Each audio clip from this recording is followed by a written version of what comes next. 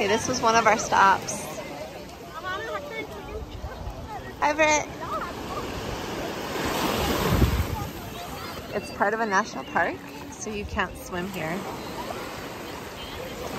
But it's just gorgeous.